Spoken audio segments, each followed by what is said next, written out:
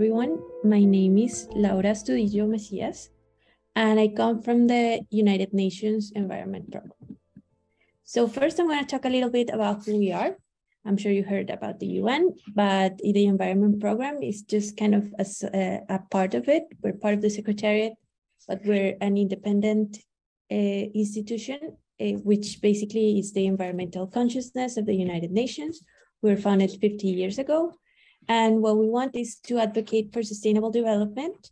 And right now we're mainly focusing on what solutions can we bring to the three planetary crises that the Earth is suffering right now, which are climate change, uh, biodiversity loss, and pollution. And how do and how do we do that? We basically work with all stakeholders to promote solutions and also do a lot of research and investigation on what are the causes and what can actually be effective to combat all the problems that we're facing. So I work specifically with the team of Sustainable Lifestyles and Education. We're a small program within the uh, Sustainable Consumption and Production Unit. Uh, so basically what we do is work on the part that talks about how we are living, how and what does influence the way we live. Uh, thankfully, we have kind of have seen a raising interest in the environment environmental issues through the years, and actually even within the part on how do us as individuals have a role within the system.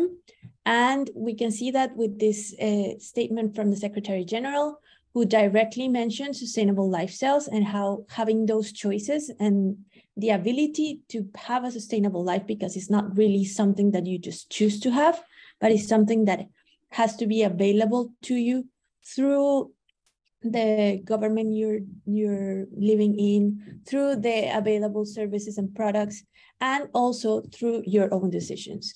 So this means not only better policies but also better products and services and as well a civil society that is willing to undertake change so we're going to talk about household consumptions and sustainable lifestyles. Um, why are we talking about that? Because you know there is a lot of focus on the production side and how the way we're doing things, the way we produce our products and services is unsustainable and very resource intensive. However, and that's how the focus is towards sustainable economy or circularity or all these terms that are, you know, pretty much referring to the same thing, which is that resources should be staying in use as much as they can and, you know, just kind of close the loop that we're talking. But us, we try to go a little bit beyond that and start saying that not only do we need to close the loop in the economy and close the circles and reuse our materials, but also the loop has to become a lot smaller because even if we turn to sustainable production right away with a magic magic wand and a, and a magic formula that will just turn every type of uh, process industrial process into something that is sustainable it was the demand that we're doing and the way that we're consuming is so big and is looking towards such a huge rise that the circle will be just so big that it's just just as resource intensive and then we're back in, in step one with the same problem. So here given that this is a talk about mobility the great example to this is this uh, is this one that we really like to use. You know we know that electrical cars have zero emissions but if we just leave the solution to be just everyone stop having cars that move with gas and turn them into electric cars, while we still have the same problems of people having to live their lives waiting for, for the light to turn green and with huge uh, mobility issues and not being able to mo move from point A to point B. So it's not just beyond, uh, it goes way beyond just looking for a solution in a way that to do things that has less emissions is how we really repurpose the way we think and what we're doing. Uh, why do we talk about household consumptions? Because it has a lot of potential when it comes to uh, diminishing the effects of climate change. Um, household consumption represents up to 70% of the emissions. So definitely if we change what we're needing in the terms of what we are consuming, it will definitely have a great impact in the emissions that are, are being, the, in the number of emissions. And then if we just go ahead, uh, but it is not so easy as just saying reduce your consumption. And I specifically in this audience, you will understand because it is very different the way that consumption happens across countries and across contexts. And if we see, for example, here, we're looking at a report made by the NGO Cool, which analyzed the amount of reduction needed uh, in terms of household consumptions in 10 different countries. And then we can see that the way that people emit is vastly different, not only in terms of how much they emit, but in terms of where do they their emissions go. So what does that mean? That we not only need to know how much we have to change, but also we need to know in what sectors uh, the, the greatest emissions are happening so that we can have targeted solutions that will really have a bigger impact.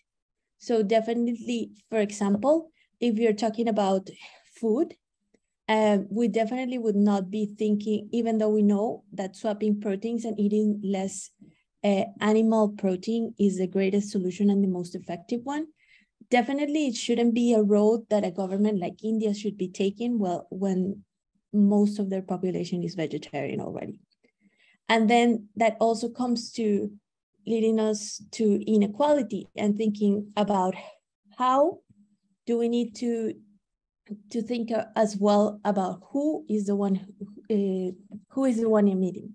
So we know that 50% of the emissions are done by the top 10% of people. So that means that probably even not even most of us here are actually responsible or even over overdoing the way that they're consuming. But there is a big issue with that because those great em emitters are the ones setting up our aspirations and they're kind of making it so that we're supposed to desire the way they are living that is incredibly harmful to the planet. So all of the other have to wish and aspire to have a lot of cars, to have private air, airplanes that transport them everywhere. Uh, so these kind of expectations that are not really healthy or helpful to the planet are the ones that are being portrayed as, as desirable. So definitely uh, the other 90% of people with their strengthening numbers should be questioning those others and pressuring them to change the way uh, and all the harm that they're doing. So as well, um, it also leads us to the way we speak to others about reducing their consumption. We know that in bigger terms, we need to reduce emissions and reduce consumption, but in no way can we forget that there are many people, many, many billions of people that do not have their basic needs, needs met. And therefore, they are not responsible and should not be taking blame for the actions of others. And as well, you cannot approach them to talk about sustainability from a narrative of restriction and sacrifice and asking them to reduce the way they're, uh, they reduce the things they're doing and even kind of refuse to aspire to better better prospects in their living because uh, they have not even had access to what is basically needed to live. So what kind of messages should we do? Should we give them? Does that mean they should not be working towards a, a better a future or kind of working for a more sustainable life? Yes, so therefore we have to expect them first to consume more to meet their basic needs, but we, what we should have to strive for is that they meet their basic needs from the get-go in a sustainable way.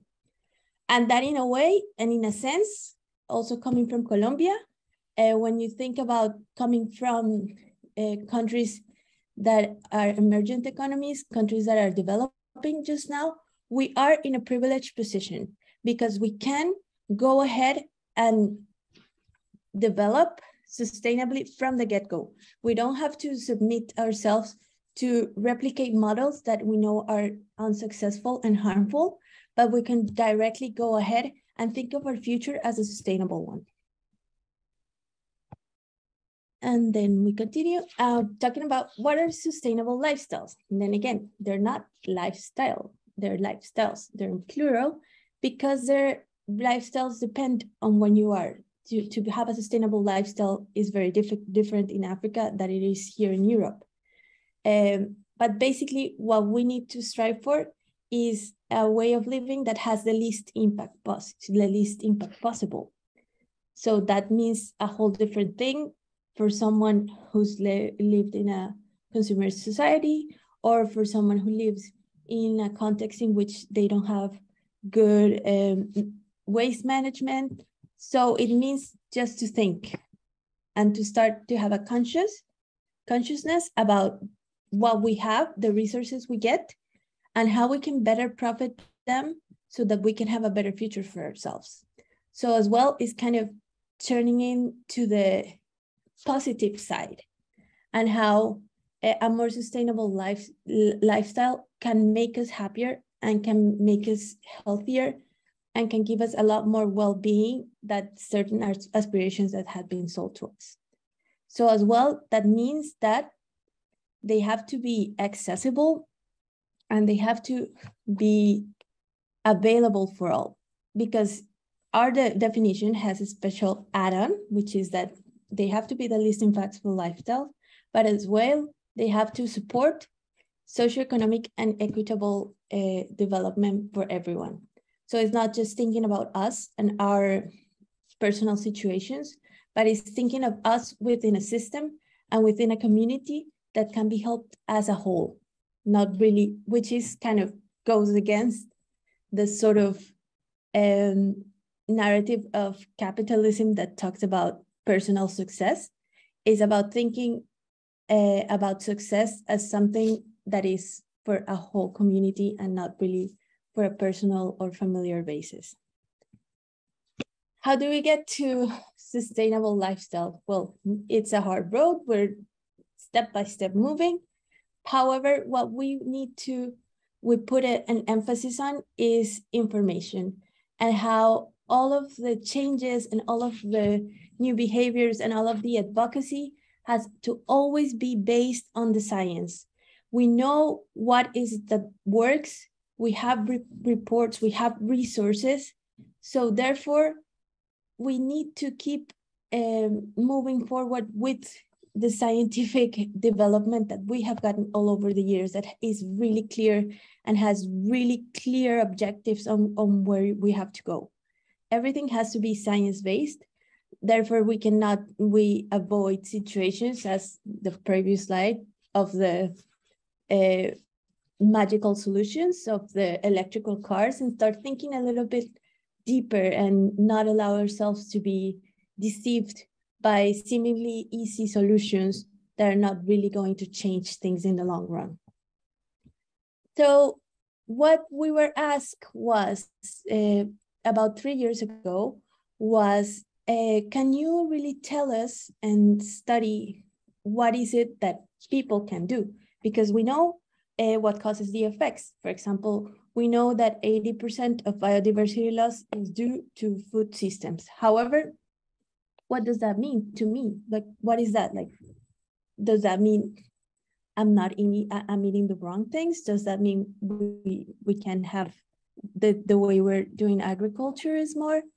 Uh, so what we basically did was start to reach out to all of the sectorial experts, to all of our colleagues that had done a lot of research and start thinking about what is it that we can do specifically and then how is it that we can change the way we do it. So we started uh, investigating about why do people consume? Why do people make the choices they make? Everyone, and this is something that is true, everyone makes decisions every day in terms of money, in terms of what they do. However, they are conditioned by their context, by the amount of resources they have, by the culture they're in, uh, by their personal situation, by, by, by the, their age, by the fact that they just had a baby. So things are always shifting and there are many reasons.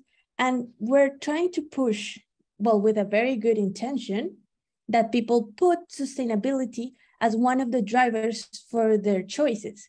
However, we cannot really expect that because how can you ask somebody to um, have to look for the most sustainable product when they don't they don't even know if they're going to eat at night?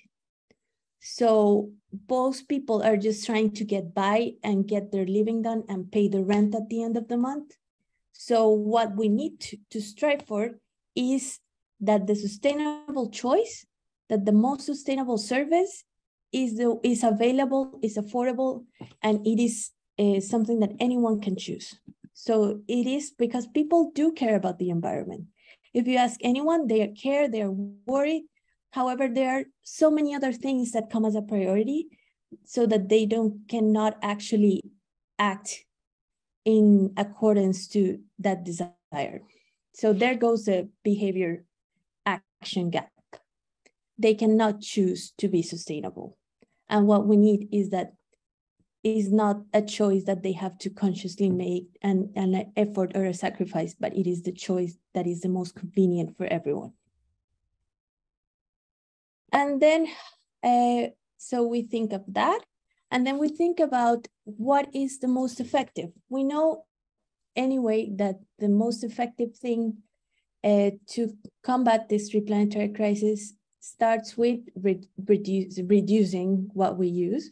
So basically, the best thing you can do is not to buy at all. So basically, first thing, just so what does that require from us? To start to be more conscious about the decisions we're making. Is this that we're buying actually something we need? But then again, we of course do not need to stop buying it uh, at all. You know, of course, we'll need things, we need food, we need uh, clothes.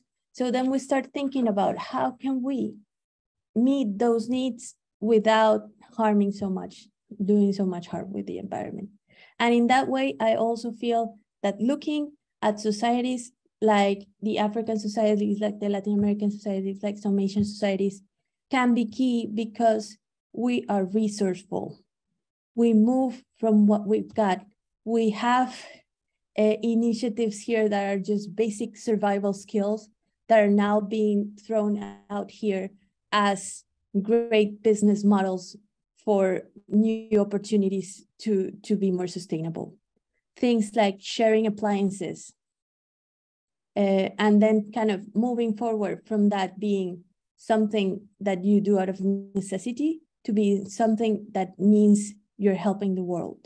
So it's also a recognition to the things that we do that are right. So as well, there has to be that other side of not only changing to have better behaviors in terms of consumption, but also recognizing the things that we're doing right. And then we went to what can you do? And the, after all of this research, this was all research to have uh, descriptions and, and and definitions that are official, that are UN based. And we came up with this uh, campaign that is targeted to people. It's called the Anatomy of Action, and it talks about um, it is it is the image of the anatomy is a hand because it talks about what is in our power and in our hands to change, and it applies to everyone, which is the most important because we're talking uh, even in, in any context, people have to eat, they have to clothe themselves, they have to move, they have to spend money, and they have they they hopefully have fun. So what is it that we can do to consciously do that and do it in a way that leads us to a more sustainable lifestyle? So we do it as in this way as well, not only because eh, it's easier to understand, but it's also a way to reach out to new audiences and start in a way translating all that science into something that we feel that empowers us and really leads us to a change and a new way of thinking uh, the way we make decisions and choices. And then as well, we realized that it, ended up working for a lot of other things. And not only is it a good tool for the individuals, but it also is a good tool for policymakers and for business uh, for business leaders because yes, we as people have to make those choices, but as well, all of the policymakers and business owners should be looking and how do are they uh, contributing to having a system that allows people to make the right choice. So it is a lot about thinking about our own power as individuals, but then that also leads to recognizing that there are many things that are out of our hands and recognizing how is it that our role in the system could start to think and lead us to uh, foster like more systemic change that involves other stakeholders. Is never about people one person is not going to save the world. And definitely if we join forces in recognizing that and getting together to require uh, businesses to give us the right products and services and require our local even at a local level that all the projects are done thinking about the way they foster the best of our well-being. It is a different uh, intent on the way we're living in this world. So here are the five um, sectors and each one of the of the actions we have three ranges of actions per sector. They're also uh, organized in terms of impact the most impactful first so that people know what is it the what is the thing that they should be focusing on.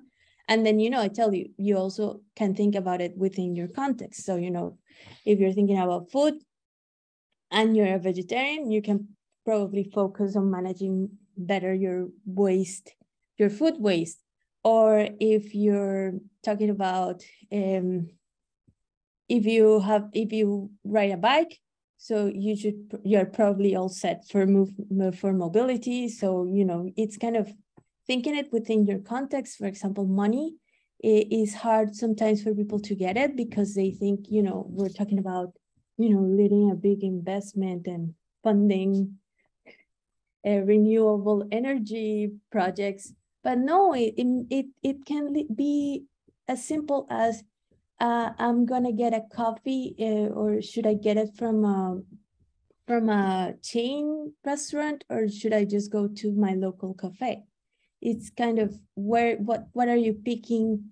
Can, do you go to the big supermarket or is there a, a small market of local suppliers happening every Sunday that maybe it takes a little more time because you have to go on a different day and look for other things and but it, it is there they are what we're basically doing is trying to build a movement. Uh, when it comes to mobility i want to focus a little bit on that due to the the subject of of the conference. It basically talks about uh, the most important way you can uh, you can help out is to choose uh, non-motorized transport afterwards sharing your ride and then if you're actually going to uh, have a particular mode of transport, uh, it, it chooses the cleanest option. And then, well, here, um, looking at, it also talks about a shift of aspirations as well, because, you know, when we talk about transport, it it's shown that the thing that we should look for is that kind of very big American way shown in the movies of huge cars in which you drive off drive out in the sunset and connect with nature and are free and can see the world. And it's kind of a, a show of success and status. However, when we actually see the reality of mobility around the world, especially since it's mostly based on um, uh, personal vehicles, we see that actually, uh, you know, traffic is a mess. Um, most of the cars are actually parked about 95% of their useful life lifetime. So, you know, basically, even though people have their own it's freedom to move they they actually the cars remain still at most of the time uh, and then, of course, the amount of emissions that are being that, that are caused by mobility around the world. And then uh, as well, thinking about how the cities that we're talking about here in Africa that they are in a stage in which we could prevent that kind of reality in a sense in terms of how as the cities grow there should be better planning that also integrates other modes of transportation. And for example works around the fact that you have such a big number of non-motorized transport and integrates it into a well-serving public transportation that can allow people to get everything they need um, dutifully and in affordable ways and being able to reach out other places, but without having to think of these uh, chaos methods that seem kind of inevitable because cities end up being constructed around the car and not really around the person. So therefore, that's why we have the three actions, starting by keeping active and mm, using non-motorized transport, uh, sharing your ride, preferring public transportation, and then in case you have to do like a longer trip in a private way, choose the cleanest route. Then I wanted to share a couple of, of good actions, uh, if, you know, selected from Africa. Uh, the car-free day, which are good uh, examples and that really makes makes us think about what what is the priority when it comes to planning cities in terms of, of mobility because then we see how people can actually have good experiences moving around in their bikes moving around uh, on feet because there are no cars uh, menacing their their experiences in the road which is really important. Uh, we always think about development as building a big road, but as well, we need to think about how is it that we think around moving without having a car? And how is it that the aspiration has to be for everyone to move around in a car and not really to have spaces in which we can find things that everything we need in close proximity and allows us to move and have and meet our needs without having to either buy a car or even we, we should be striving for not even having to buy a bus bus anyway, even if it's a little bit hard. Still, we, need, we, we should be able to move a little bit further than that, but probably that hopefully that that does not mean that we need to undertake um, a high emitting eh, alternative. Um, so we have all those examples. And then we also have the results of our campaign. We are very focused on, on you know, betting on social media because what we want is to spread the message and also to be inclusive with the message. We've managed to reach up to 22 million people and we have had participation from all regions in the UN. We had a specific, uh, very, very interesting uh, um, activation of, of the anatomy on fashion in Africa, in which we talk about the way uh, textile production works here and how to think about more sustainable uh, textile industry in the region. And then as well, we try to translate materials as well to as much languages as we can. And then we also take the message further, uh, since uh, a lot of you are working towards more sustainable uh, transportation, I would like to recommend if you have the chance to see our policy brief, Enhancing Sustainable Lifestyles in a Climate Emergency, that talks about policymakers' choices that they can do. It uses a framework called choice editing and lifestyle. So it goes through the sectors and it talks about how policymakers have to edit out uh, harmful choices, which for example, would be a, a, measurement like the one they just had in Europe, like banning gas cars, which, you know, it's a little bit, we, we can talk about it if you have any other questions. And uh, edit in good, good options. So for example, um, having better cyclable roads and better uh, lanes for people to walk in. And mm, ba basically do that in, in every domain and have concrete strategies for more sustainable cities. And then we also have the Sustainable Lifestyles Academy, in which we're working on directly on tools to for people to learn about lifestyles. We have a, a game that we designed and that we're going to have a global rollout of the game next year in which people can compete and answer questions and learn about lifestyles. But most importantly, they also have to act and show people that they're taking on more sustainable behaviors. And then uh, we're doing a course on sustainable lifestyles that hopefully will be launched by February. And that one is easier because it's open for everyone. So if anyone is interested in, in using it as a resource, as a teaching resource, as an intermediary resource, you know, go ahead and, and, and, and reach out.